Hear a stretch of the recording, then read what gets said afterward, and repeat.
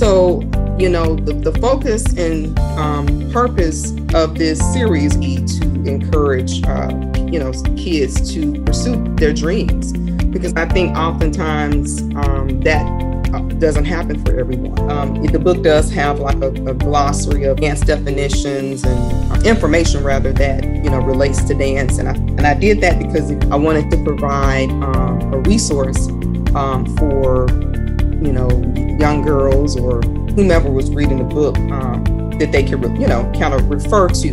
Because um, so I would just say you know for new authors, don't get discouraged. Um, stay focused you know, create a timeline um, and just kind of line everything up.